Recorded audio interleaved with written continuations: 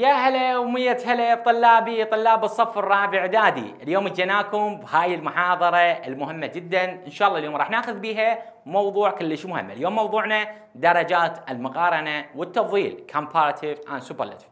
ركز هنا، اليوم موضوع كلش مهم، شنو درجات المقارنة وشنو التفضيل؟ باوع. درجات المقارنة يقول لك تستخدم المقارنة، يعني من اسمها هي مقارنة، تستخدم للمقارنة بين شخصين أو شيئين. للمقارنة بين شخصين أو شيئين. بينما درجات التفضيل هي يقول لك تستخدم للدلاله على الشيء الذي لا يقارن في مجموعة. فهمت الفكرة؟ زين. ركز هنا. عندك اليوم موضوعك درجات المقارنة. خلينا نشرح لك إياها بشكل تفصيلي. عندك comparative. Comparative and superlative. عندك درجات المقارنة والتفضيل مثل ما عرفت المقارنة هي قارن بين شيئين بينما التفضيل هو ليس لد... بمعنى تستخدم للدلالة على الشيء الذي لا يقارن. عندك قاعدتين كلش مهمات. عندك قاعدة المقارنة. شنو قاعدة المقارنة؟ أنت مر عليك سابقا. يقول لك فاعل زائد بعد الفاعل الإس لو الار زائد. عندك صفة. هاي الصفة لو تضيف لها more لو تضيف لها er. خليها ببالك. هاي الصفه لو ضيف لها more لو er خد تذكرون بالمحاضرة السابقة. علمتك شو وقت تضيف er وش وقت تضيف more إذا كانت الصفة مالتنا متكونة من مقطعين راح نضيف more بينما إذا كانت مقطع واحد راح نضيف er زائد than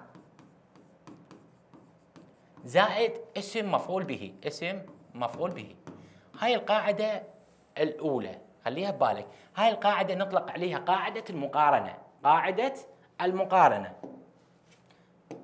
هاي قاعدة قاعدة المقارنة. يعني إذا ردنا نقارن نقارن بهاي القاعدة. يعني مثلا أرد أقارن. مثلا قايل لك التوك is مثلا باوع. Faster than an مثلا elephant. قارنت هذا الشيء. الكلب أسرع من من الفيل. افتهمت درجات المقارنة. لاحظ مشيت على القاعدة. فاعل is faster صفه ضفت لها er صفة متكونة من مقطع واحد. استخدمت ال than والاسم المفعول به هنا. فهمت الفكرة شنو؟ هسه تقول لي أستاذ افتهمتها نقدر نقارن مثلا أقدر أقول لك a car a car is more expensive than مثلا a bike قارنت السياره قلت لك السياره أكثر غلاء من من الدراجة. فهمت الفكرة شنو؟ هاي نسميها درجات المقارنة، هاي درجات المقارنة بحيث الأستاذ إذا أعطاك جملة قال لك قارن لي إياها. زين؟ أنت راح تستند على ترتيب القاعدة. تنزل الفاعل بعدها تستخدم ال is إذا كان عندك جمع هذا الفاعل تستخدم ال are وإذا كان مفرد تستخدم ال is زائد صفة مقارنة تتأكد من الصفة اللي معطيك إياها الأستاذ. إذا لقيتها مقطعين تستخدم ال more. شلون هسه هاي ال more؟ استخدمت ال more ودور كتبت الصفة. وإذا كانت مقطع واحد راح تضيف لها er من أقول لك تضيف لها er أي يطبق عليها شروط ال er فهمت بعدها تستخدم ال than بعدها تكتب الاسم آه اسم المفعول به. فهمت الفكرة؟ هسه تقول لي أستاذ افتهمتها. زين. هاي بالنسبة شنو؟ قاعدة المقارنة. زين. عندك قاعدة التفضيل. قاعدة التفضيل. باوع هم بالبدايه تكتب الفاعل بعد الفاعل مالتك ال is أو ال are زائد ال the زائد صفة. هاي الصفة أما اضيف لها most أو اضيف لها est يعني درجات التفضيل بها most وبها est زائد اسم مفعول به. هاي القاعدة الثانية. هاي القاعدة شو نسميها؟ قاعدة التفضيل. قاعدة قاعدة التفضيل. فهمت الفكرة؟ هاي قاعدة المقارنة هاي قاعدة التفضيل. شنو قاعدة التفضيل؟ مثلا الأستاذ يعطاك مثلا قايل لك he is the tallest in group. باوع قاعدة التفضيل فاعل ال is درجة التفضيل. ضفنا هنا شنو؟ the بعدها شنو؟ صفة. الصفة ضفنا لها ضفنا لها est هو هو الأطول وين في المجموعة؟ بدون مقارنة. هو الأطول بالمجموعة. بينما هاي درجة مقارنة. نقارن بين الشيئين أو شخصين أو اسمين فهمت زين. مثلا أقدر أقول مثلا the plane is أقدر أقول مثلا fastest. مثلا transport in the world. أقدر أقول له مثلا الطائرة هي الأسرع وسيلة نقل وين في العالم. يعني شيء ما يقارن بشيء ثاني. خليها ببالك. درجات التفضيل تكتب الشيء الذي لا يقارن بشيء. يعني أقول الطائرات هي أسرع وسيلة نقل في العالم. أكو شيء بعد اسرع من عندها؟ لا. باوع. قلت هنا هو أطول الأطول وين؟ في المجموعة. فهمت الفكرة؟ شنو درجات التفضيل؟ هسه قمت تميز بيناتهم. زين. عندك ملاحظة. خاف يجيبوا لك على شكل اختيارات. هم دائما هذا الموضوع يركزون عليه على شكل اختيارات في الغالب. عندك ملاحظة. يقول لك إذا وجدنا ملاحظة. إذا وجدنا الذي هاي. قبل القوس.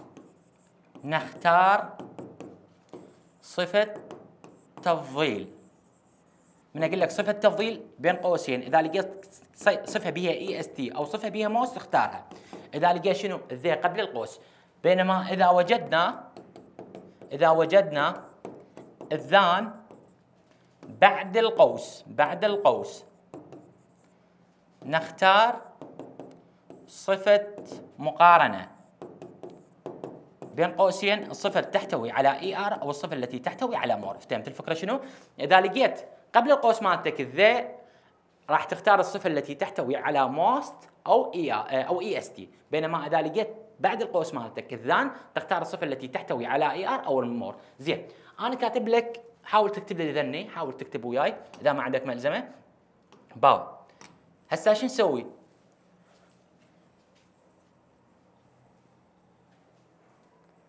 لاحظ.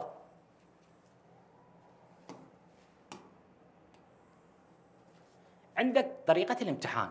هاي طريقة الامتحان. باوع.